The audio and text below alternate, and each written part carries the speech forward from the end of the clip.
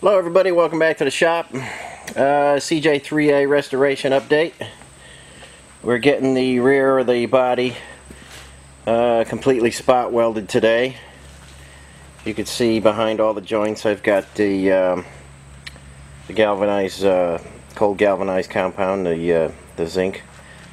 And that's uh, behind every single joint. And that's what you want to do if you want your body to last and um, there's that floor we reviewed from uh, Classic. It's in there. And we still got some work to do where the footman loops go and the rear seat. We got to put in the rear seat um, pockets and everything. But um, that's the rear of the body. Got the uh, tailgate surround in there today Still got to do some um, grinding. And it's been so humid lately, you can see everything is just immediately flash rusting. But uh, we'll clean everything up before we do any kind of priming or anything. And um, to save time on this body while I was working on the back and doing the chassis, um, remember last time I said that um, I was going to have uh, my customer get some parts from uh, various places instead of me uh, taking the time to make them. Uh, we thought we'd speed the project along. And um, we've got some uh, uh, let's see we've got some hat channel for under underside some front quarter panels and some floor pans. And uh, I want to put put everything on the bench here and uh, and show you what we got and um, tell you what I think of it. Uh, just in case you guys are thinking of purchasing any of that stuff I want to show you what you're actually going to get and what you're going to have to do to make it fit so uh, let me get set up on the bench and I'll be right back with you. Okay guys, what you're looking at there is the, uh, that's the driver's side hat channel section uh, for the CJ3A. And um, I normally make all this stuff, but uh, again, we were trying to save time. So I thought there was a good reproduction out there. But, uh, I was mistaken again. What I'm laying on there is a um, completed hat channel section. And um, I just want to say to everybody I'm not trying to bash anybody I'm not trying to badmouth anybody making parts or anything. I just uh, I'm trying to bring real uh, real world comparisons you know to people but so they can make an educated decision before they buy something or or have somebody make something or you know um, again we're not trying to beat anybody up but um, this is from Classic. Uh, if you're in the Jeep world, you've heard of these guys. And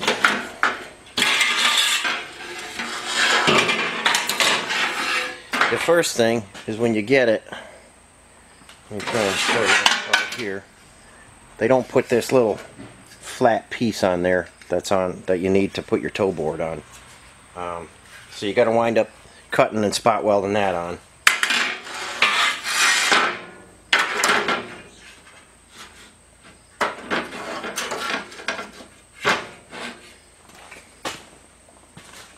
Think you can see this all right. Let me take the camera off here and try and bring you in there. The original hat channel, well, let me focus that out for you. Oops. Okay, the original hat channel almost fits inside of what you get. Um, I think you can see the stuff you're going to get much larger than the original stuff. And this is where you get into trouble with that. Um, this is the driver's side again, so your, your clutch pedal is going to be in there. And you can see I have marked out how much I need to take off of here. And you're almost completely inside the, the cutout here. Um, so they're much larger and um, that makes a serious problem when you go and you try and adapt the piece of hat channel you get to your original curved piece in your tunnel. Um, it basically is just a disaster right in that area. So there's going to have to be a lot of blending and a lot of uh, a lot of stuff done there to make it look right. Um, So, like I say, the, the, the overall size, uh, it, it, screws everything up. Um, and they're just way too wide. And in this section especially, uh, it, it's just, there's just no room in there for your, you know, for your clutch pedal. So you got to take quite a bit out. So let's just measure this one here. Yeah, I got about two and a half inches in width there. And you'll get about three and a quarter there. So, you know, that, that, that difference has to go somewhere. So, um, I'm going to massage these in there and make everything work out. But um, just want you to be aware when you get them. Uh, so you're not disappointed when you, you know, you spend your money on this stuff and you, you don't want to be disappointed. But um, I would not use these again. I would take the time to uh, to make them correctly. And uh, like I say, if we weren't trying to push this project real fast, uh, I would have taken the time to make them right. But, um, you know, we're trying to get it out the door here, so uh, this is what we did. And so far, uh, it's been kind of disappointing and a, and a, little bit of a mistake. So we're going to go look at the, uh, the passenger side next. Okay, what you're looking at here is the passenger side.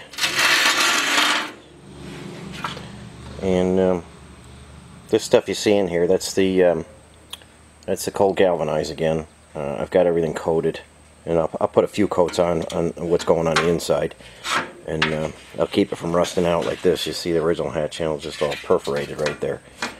So uh, we're gonna give it a fighting chance, and like I say, I put the uh, I put the primer, the, the cold galvanized primer behind everything and uh, it works out real nice.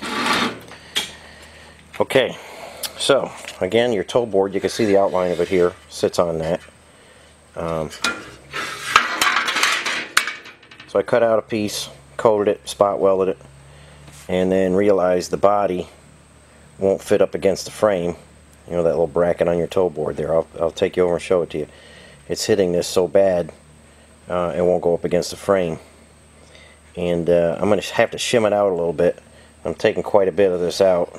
You know, in theory, I could take the whole thing out, um, but that'll just leave a wide open space there. So I'm only taking a little bit out, and we'll shim that little bracket out.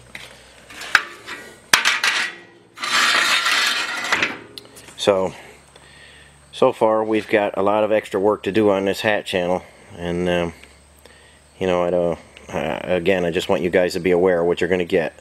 Uh, it's not going to be the type of stuff you just put in there and put in your Jeep and weld it in. There are modifications that are going to have to be made. Okay, what you're looking at here is our front floor, driver's side. You can see your uh, clutch and brake pedal, your steering tube, your master cylinder hole right there. And I cut it out carefully with the plasma cutter. And um, we'll weld that, we'll get everything welded into the, the tunnel and we went all the way up to the firewall I like to take them off at the firewall because then you spot weld it back in there and you don't have a weld joint say if you cut it right there um, it's a little extra work but it makes for a nicer installation. Right there you can see that's where your cowl support goes. That's what happens if you don't have any primer underneath it.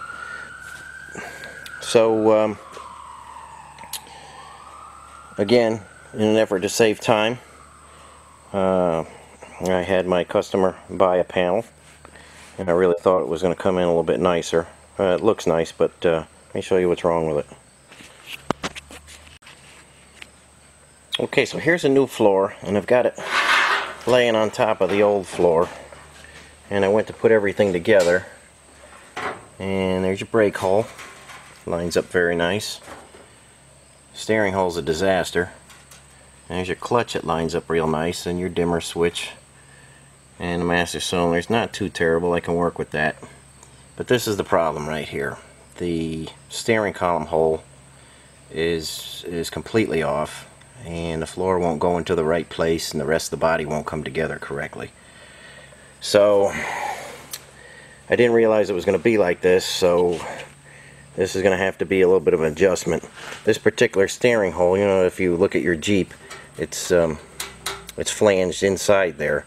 So it's not a question of just filling the hole in and moving it a little bit. We need to do uh, quite a bit of work there. I don't know if uh, I don't know if I'm going to cut it along this seam and put the original back in. I hate to do that and then you have to always dress that weld real nice. Uh, I'd like to put this in, but I'm going to have to flatten this flange out. I have to fill that back in, um, re uh, center the hole where it needs to be, repunch it, and then we'll have to flange that. And uh, I'll show you how I do that. Um, but again, you know, it's it's kind of disappointing. You pay good money for these parts, and um, this is from another uh, Jeep company there, well-known guy, uh, Carl in Pennsylvania, and um, it, it's just uh, it's disappointing to get stuff like this. You know, it's uh, like I say, we're not trying to beat anybody up, but um, it would have been a whole lot nicer had they not put any holes in there, and I could have put my own in there.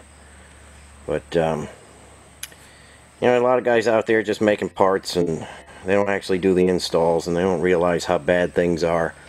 But um, this is a this is just a real disaster here. I mean, it's, it's it doesn't look like much, but it, it screws up the whole panel and it takes you know three times as long to, to fix some stuff that's almost right than it does to make it from scratch so uh, quite disappointing on these parts I've been getting in and um, like I say it's just uh, a lot of guys making parts out there and everybody's you know tooting their own horn saying oh my god I got the best parts and then uh, you go to put them in and you're doing a high quality restoration and it just they're, they're just junk so um, we won't go down this road again. Um, as usual, we'll have to fabricate everything in-house to uh, to make it right. But, um, got, got a couple more parts to show you. And like I say, we're just doing real-world comparisons here. Again, I said a hundred times, we're not trying to, to bash anybody. We're just saying uh, it's a real comparison to an original part.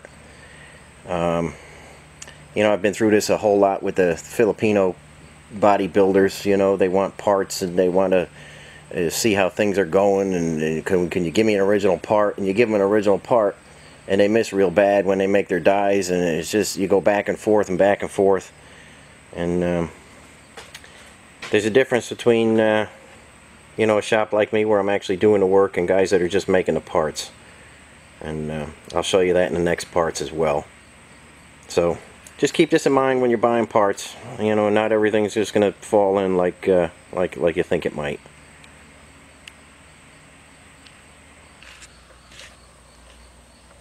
Okay guys, here's the front quarter.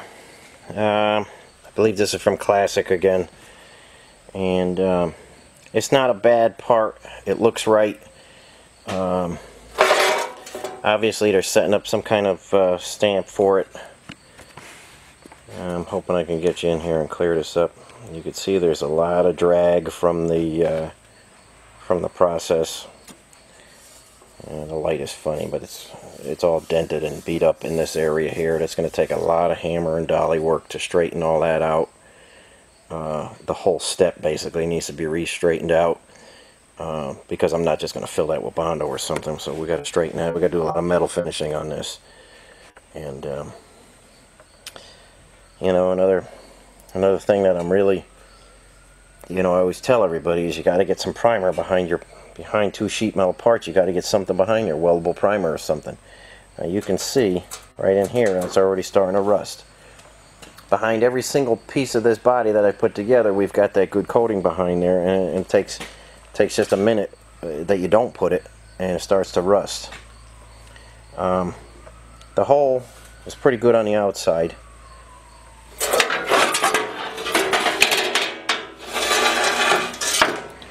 and they didn't really take any time to uh, do any dressing on the inside. They'll just they'll cut you open like nothing. It's just it's quite rough on the inside. Not a big deal. You just get in there and, and take care of that. Um,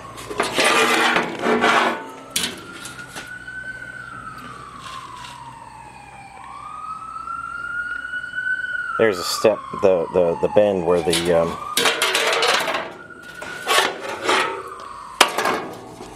where the fender goes on. And I don't know what happened, but it looks like they bent it a little bit and then they straightened it out again. There's a heavy line going down there.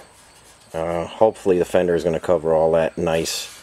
Um, but you even see it on the inside. And when I get some paint on that, it's going to stick out like a sore thumb. Um, not happy with that. In this area here, they put that extra piece in there to double it up. I think you can see that. But for some reason, they got the whole curve of this wrong. Um, so your cowl support's going to be somewhere in here.